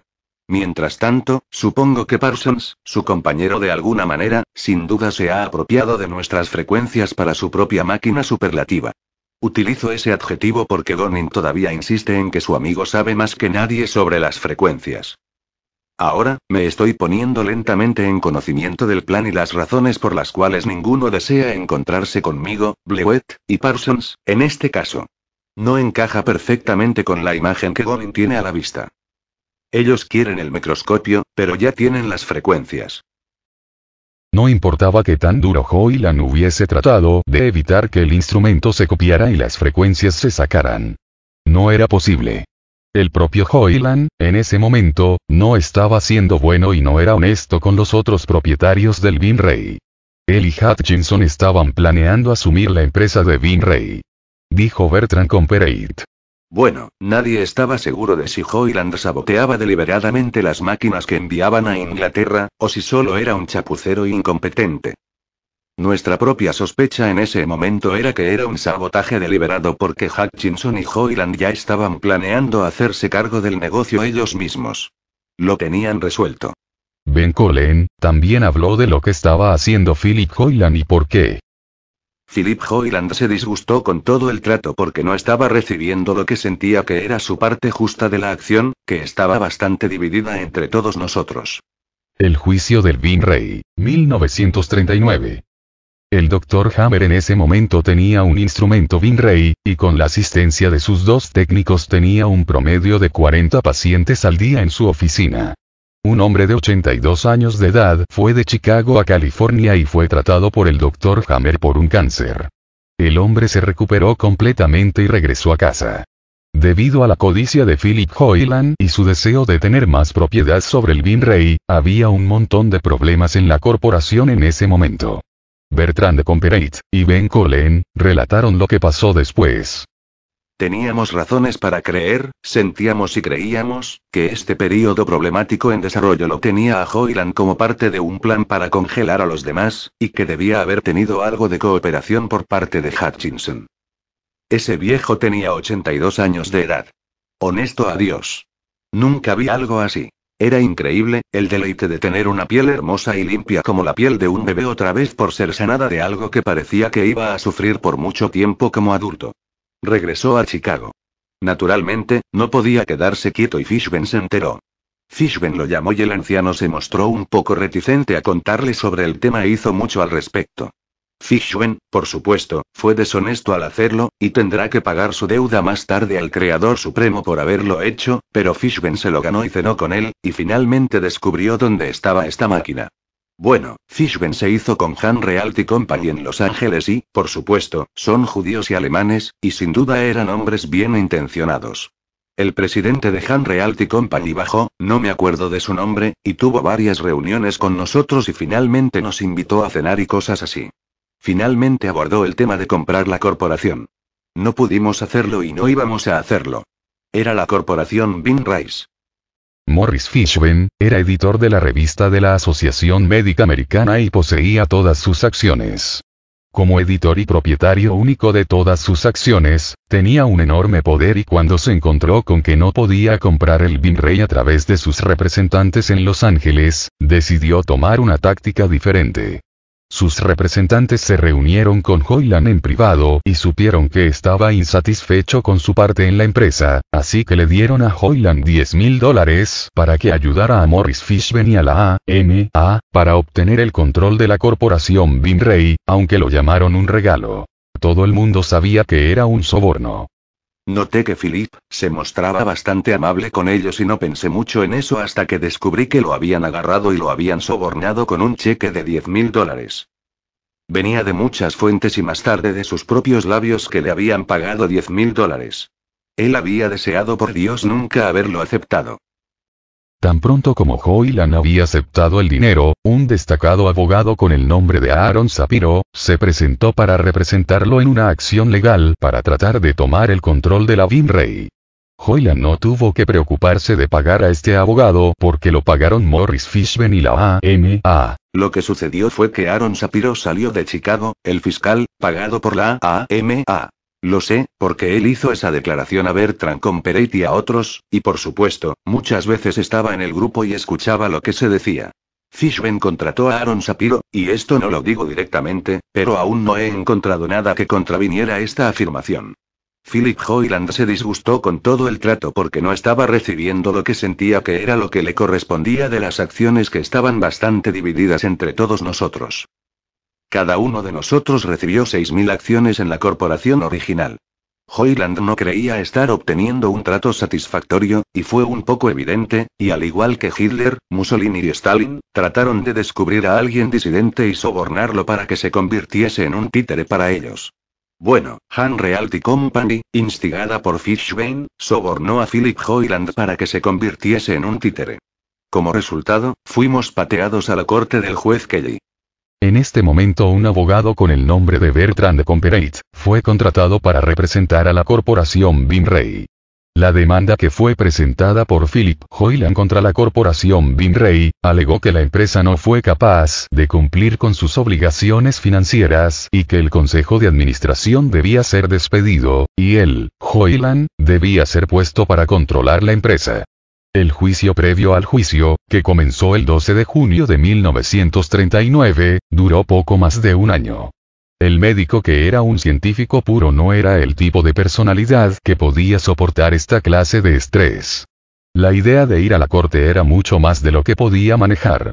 Bertrand de Comperate dijo esto, acerca del temor de Raif de estar en el estrado. Bueno, el alcoholismo de Raif comenzó así. Raif era uno de esos hombres que no tomaba ningún tipo de alcohol en ningún momento.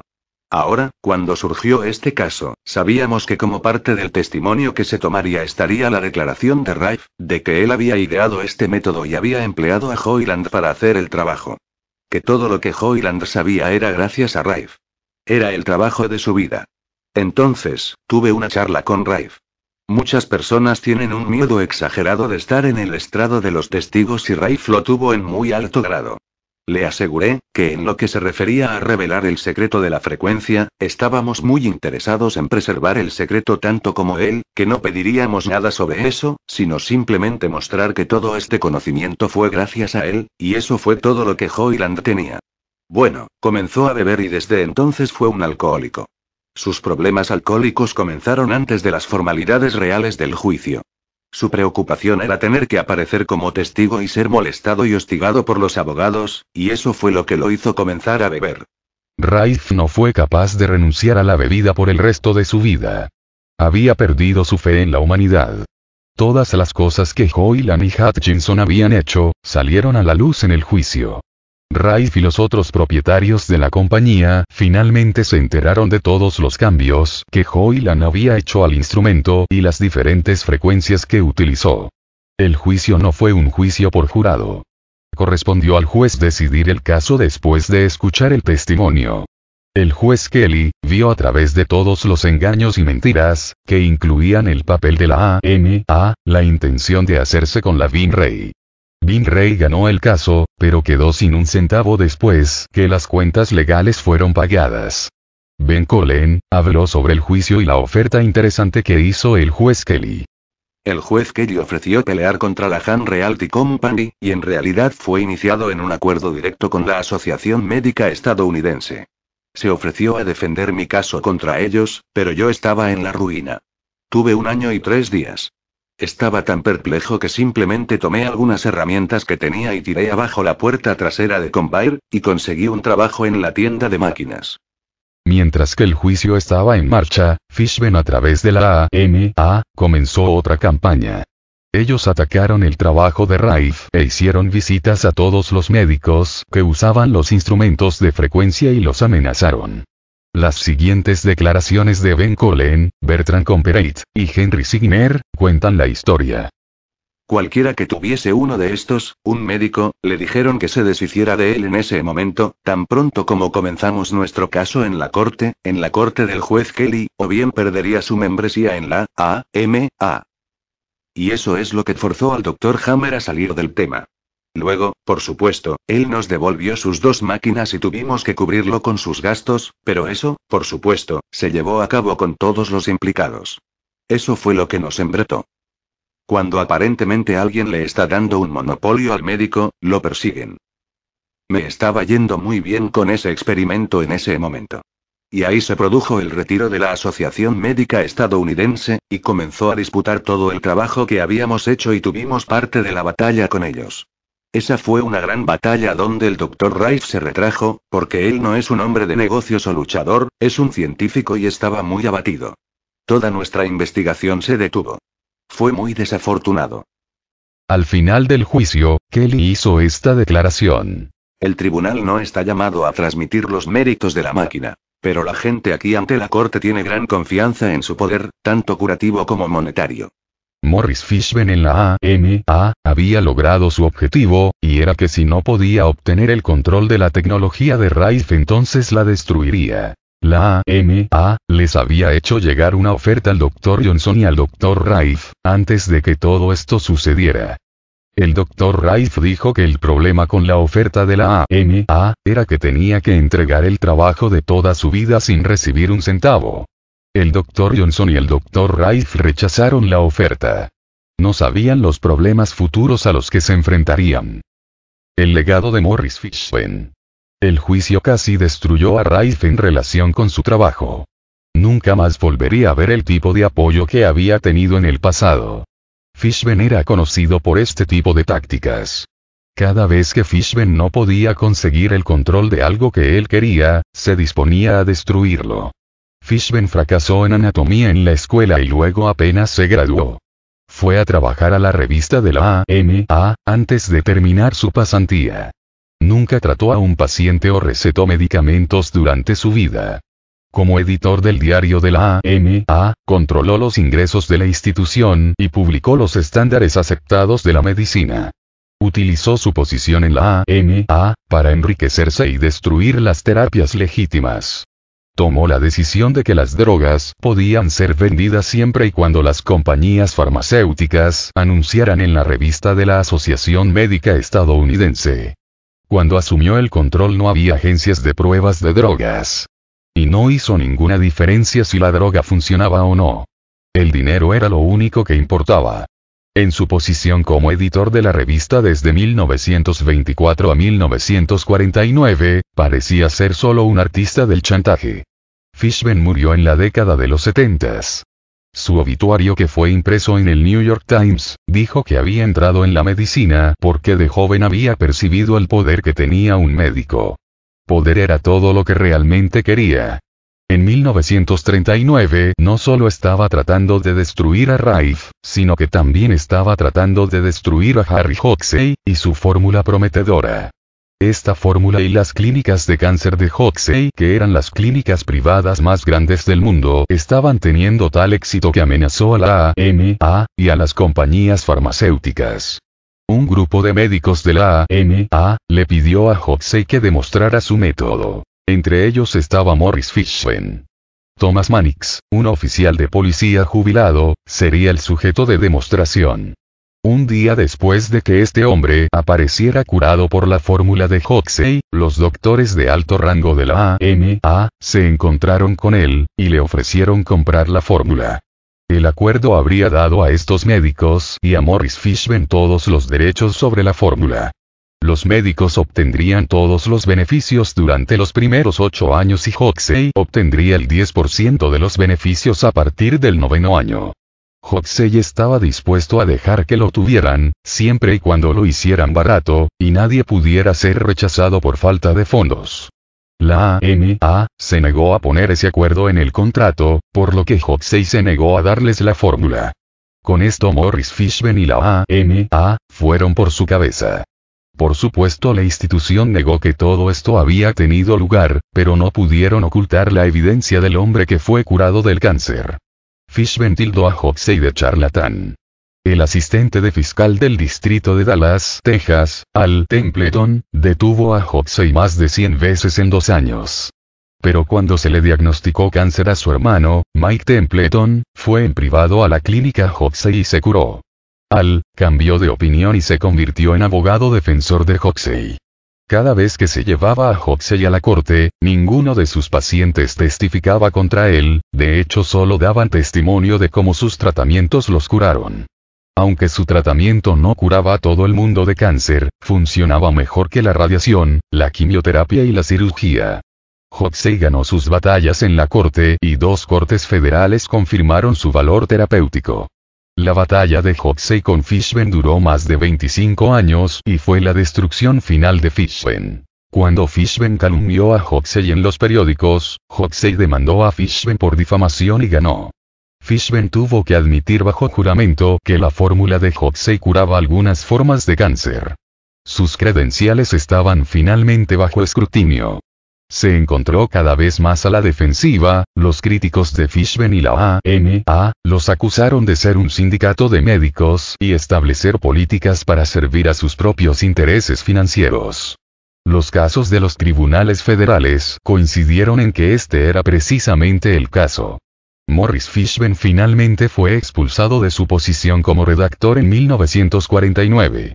Incluso con Fishman quitado de la institución, las políticas no cambiaron. Hoxey finalmente fue forzado a salir del negocio en los Estados Unidos por la AMA y la FDA. El daño causado por Fishman está más allá del cálculo. En el caso de Raif y los otros médicos que estaban utilizando los instrumentos de frecuencia, solo un puñado dejó de tratar a los pacientes con el equipo. Irónicamente Fishman a través de Hoyland había sido capaz de obtener el control de la Ray. Hubieran poseído el método y los instrumentos de la frecuencia de Raif que estuvieran en cada hospital al día de hoy. Antibióticos contra frecuencias. Después del juicio, el Dr. Raif volvió a su trabajo de investigación en su laboratorio. La penicilina fue el primer antibiótico que se descubrió, y en los primeros años de la década de los 40 se puso en el mercado. La profesión médica estaba más interesada en dar antibióticos a sus pacientes que en el uso de un instrumento que pudiera usar frecuencias para destruir organismos. Los antibióticos eran vistos como la panacea que resolvería todos los problemas de salud de la humanidad y se invertirían cantidades enormes de dinero en su desarrollo y en los bolsillos de los médicos que los prescribieran. Bajo estas circunstancias y con la presión de Morris Fishburne, el interés por la drástica tecnología comenzó a desvanecerse. El uso de los descubrimientos de Rife de 1939 a 1944 continuó en silencio entre algunos médicos que tenían sus instrumentos de frecuencia. En 1940, la señora Bridge, que había estado donando a su laboratorio de investigación, murió. El dinero de Henry Timkin ya no estaba a disposición.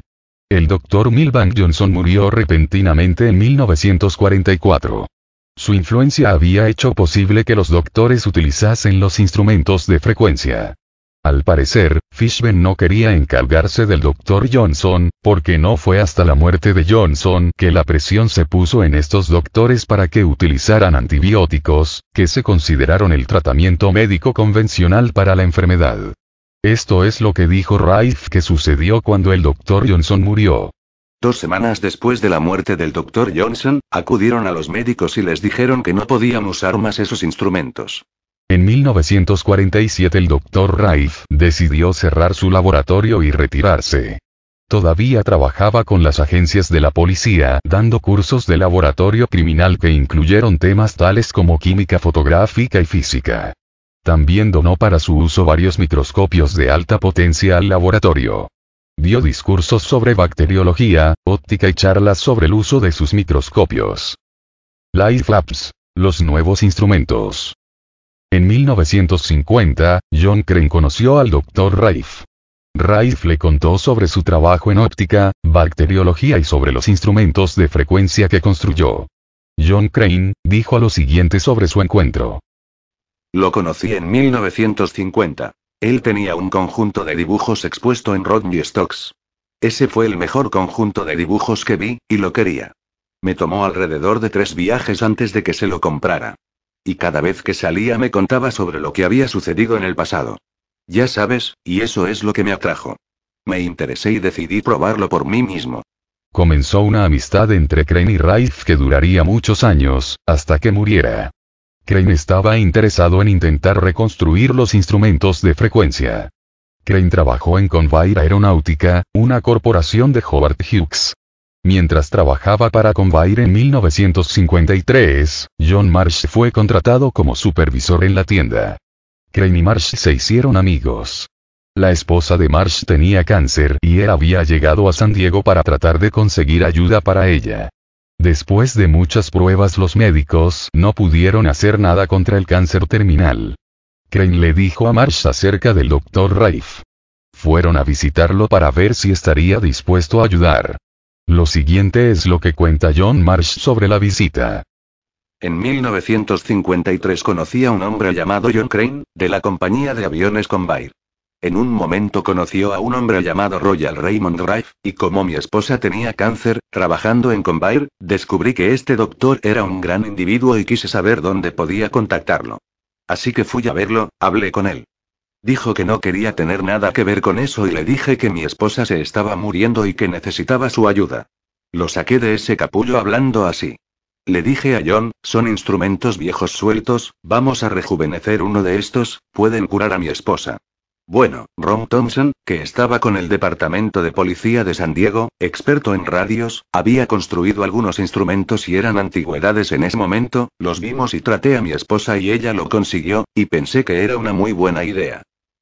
En 1953 John Crane y John Marsh motivados por la curación de la esposa de Marsh, unieron sus fuerzas y decidieron reconstruir los instrumentos de frecuencia.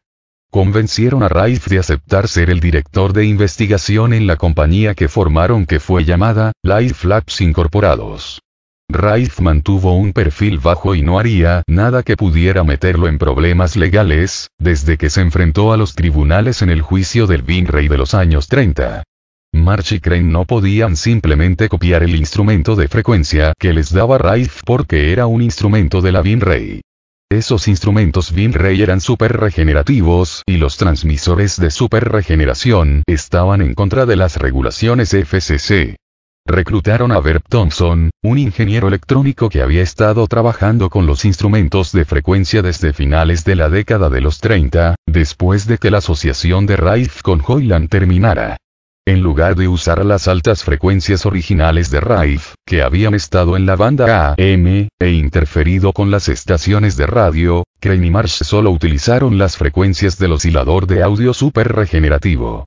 Estas frecuencias de audio son frecuencias que se pueden escuchar a través de los altavoces como tonos, que generalmente se consideran por debajo de 20.000 Hz. Los originales de Rife que se usaban con las frecuencias de audio estaban en los cientos de miles a millones de hercios o ciclos por segundo. Habían quemado los nuevos instrumentos creados por Thomson. El primer instrumento no funcionó.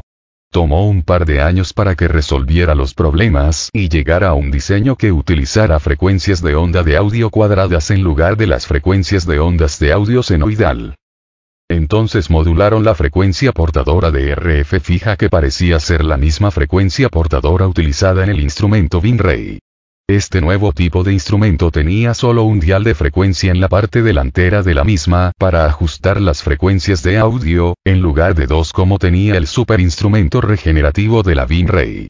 En 1957, tenían un instrumento de trabajo. Marsh estaba de visita en Dayton, Ohio, y su esposa necesitaba ver a un médico. Así que fueron con el doctor Stafford, cuyo padre también había tratado a la familia Marsh. En el curso de su conversación, Marsh habló con Stafford sobre Rife y el instrumento de frecuencia. Stafford era de mente abierta y estaba dispuesto a probar un instrumento en un paciente. Marsh le dijo que traería un instrumento de regreso de California para que lo usara si alguna vez tenía algún paciente con cáncer. Unos meses más tarde, el doctor Stafford se puso en contacto con John y le pidió que le llevara un instrumento. Stafford usó el instrumento durante un año y medio y grabó una cinta de audio de sus experiencias usando la máquina. Me gustaría resumir varios de los casos en los que he trabajado aquí en Dayton durante el último año y medio. Desde mi encuentro fortuito con mi viejo amigo John Marsh, tuvo la amabilidad de explicarme un poco de este trabajo y por supuesto, las cosas que John Marsh tenía que decir sobre el equipo de Rife. Fue muy fenomenal y en ese momento parecía casi increíble. Afortunadamente, he podido observar varias de las cosas que se mencionan que realmente existen y por lo tanto, me siento obligado a exponer estas cosas como las he visto por carta, por mensaje personal y para continuar el trabajo aquí en Dayton, o donde sea. Puedo hacerlo, donde sea que el trabajo sea aplicable.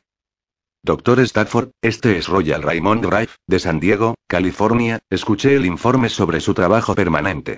Creo que lo que está haciendo va a ser un hito en el campo de la electrónica respecto a los tejidos de las bacterias en el cuerpo humano. Tengo 72 años y trabajé hasta los 50 años en la investigación médica y lo hice con lo mejor de mi capacidad y le agradezco mucho por la cooperación y el trabajo que ha hecho hasta ahora, en el avance a este dispositivo, en el que originalmente trabajé en 1920. Ideé un instrumento que con la frecuencia correlativa desvitalizaba el constituyente químico de la bacteria. El doctor Stafford usó el instrumento desde 1957 a 1962. Al mismo tiempo había médicos en Utah y California, usando los instrumentos de frecuencia. El doctor Edward Jackson, estaba en Salt Lake, y estaba viendo el mismo tipo de resultados que el doctor Stafford. En 1958, el Consejo Médico del Condado de Salt Lake obligó a Jepsen a dejar de usar el instrumento, aunque muchas personas estaban siendo ayudadas por él pero aún no habían demostrado que funcionaran tan bien como los instrumentos super regenerativos construidos por Liddy Forest y Hoyland. Durante este tiempo Crane y Marsh, no Rife, comenzaron a trabajar en un revolucionario y nuevo instrumento de frecuencia portátil más pequeño que sería menos caro que el actual instrumento Ray. En ese momento el instrumento Ray costaba 3.500 dólares. Incluso los médicos lo encontraron caro para comprar. Fue el alto costo de la construcción de los instrumentos Ray que les hizo buscar hacer las cosas de una manera diferente. Los instrumentos de frecuencia más pequeños eliminaron la necesidad de un tubo de rayos mediante el uso de almohadillas que entraban en contacto con el cuerpo para entregar las frecuencias con una pequeña fracción del costo del Bin-Ray, porque estos instrumentos eran más pequeños y entraban en contacto con el cuerpo y no necesitaban tener la misma potencia que la unidad de tubo de rayos. Crane y Marsh no tenían la cantidad de dinero que gastó Rafe. La necesidad es la madre de la invención. Crane y Marsh usaron un generador de funciones de un kit de salud para predecir las frecuencias. Estos generadores de funciones del kit de salud no tenían una frecuencia portadora incorporada para modular las frecuencias de audio. Por lo tanto, la frecuencia portadora ya no se utilizaba. Rife era muy escéptico con estos instrumentos más pequeños, aunque Crane y Marsh obtuvieron grandes resultados con estos instrumentos. No fue hasta que la potencia aumentó que finalmente funcionó de la manera que esperaban. Bertrand Comperate habló sobre por qué construyeron el nuevo instrumento sin el tubo de rayos. Bueno, Crane originalmente estaba con técnicas más modernas, duplicando la máquina de Rife, el tubo y todo eso para experimentos iniciales. Y como dije, llegó a la conclusión de que no se obtenía nada adicional mediante el uso del tubo. Si no obtenía la frecuencia, podía ejecutar el resto indefinidamente y no pasaba nada. Todo iba muy bien para los Light Flaps hasta 1961 y finalmente llamaron la atención de la AMA. El doctor Stafford fue visitado por un oficial de la FDA, pero debido a que era médico simplemente lo dejaron. Al día siguiente fueron secretamente a los Light Flaps. Bertrand Comperate cuenta la historia de lo que sucedió a continuación. Tenían algunas amas de casa inofensivas que fueron contratadas para este trabajo, equipadas con micrófonos inalámbricos, y al final de la cuadra estaban los hombres del Estado, en una camioneta con su equipo de grabación. Así que recuerdo una cinta. Aquí estaba Marsh con su propia voz diciendo, este instrumento no solo curará todas las enfermedades conocidas, sino que también curará algunas que aún no hemos descubierto. Marsh y Crane, no habían escuchado lo que les había dicho el Dr. Rafe. Habían grabado la siguiente conversación pero no tomaron su advertencia seriamente. Bueno, cuando hago la declaración de que clínicamente cura, era que clínicamente cura, sí. Pero querían esperar cinco años para ver si morían de otra cosa. Esa es una de las razones por las cuales una persona tiene que tener mucho cuidado con cualquier afirmación hecha, o decir que nunca he hecho declaraciones que afirmen la curación. Una vez que lo haya visto, una de las peores cosas que podría usar es la palabra cura. Odian esa palabra así como el diablo odia el agua bendita. Raif ya sabía lo que podría sucederles si comenzaran a hacer reclamos sobre las curas. No pasó mucho tiempo hasta que el estado de California registrara Marsh, antes de que finalmente llegaran sin una orden de registro para hacer una incursión en los Life Labs. Bertrand de Comperate describió lo que sucedió durante la incursión. Lo que hicieron, entraron como simples ladrones saqueadores y tomaron lo que ellos pensaban que el hombre podría querer y de ese modo podrían privarlo. Ahora, por ejemplo, una de las cosas que John Crane tenía era un contador de frecuencia Hewitt Packard, que se lee numéricamente. Ese dispositivo no se usó para tratar a nadie, simplemente lo usó para calibrar sus propios dispositivos y era totalmente ilegal que lo aprovecharan. Pero lo interpretaron según la teoría. Bueno, tenemos dinero público para defenderlo, usted nos demanda por su propia cuenta. No solo vieron la propiedad de Crane, sino que también tomaron la propiedad de Marsh. El Dr. Rife fue capaz de evitar inconvenientes legales porque se quedó en segundo plano y se aseguró de que no hiciera nada que pudiera causarle problemas. Crane y Marsh terminaron siendo condenados por tres cargos y dos fueron anulados. Si ambos no hubieran tratado a una mujer, habrían sido eximidos. Fueron sentenciados a 10 años pero con la anulación de dos de los cargos, terminaron solo sirviendo tres años de prisión.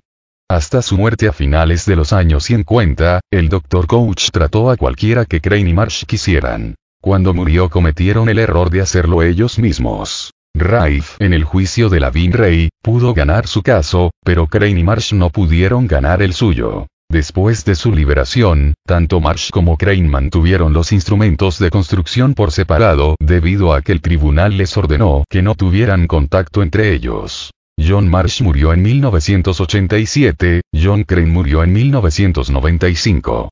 Desde la muerte de Crane y Marsh muchos han afirmado ser los únicos herederos verdaderos de la tecnología Rife, pero no hay herederos verdaderos. Una gran pérdida y un nuevo interés.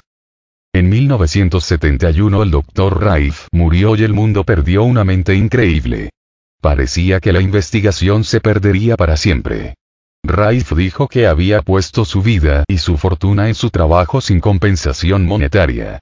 Lo había terminado y entregado a la humanidad en un plato de plata. Pero ninguna de las personas en posiciones de poder lo quería. En enero de 1985, Barry Lines escribió un artículo sobre el Dr. Rife. John Crane, que había estado intentando durante años obtener el reconocimiento de Rife, se puso en contacto con Barry Lines y le preguntó si le ayudaría a hacer público el conocimiento de Rife. Barry decidió escribir un libro y en 1987 lo publicó.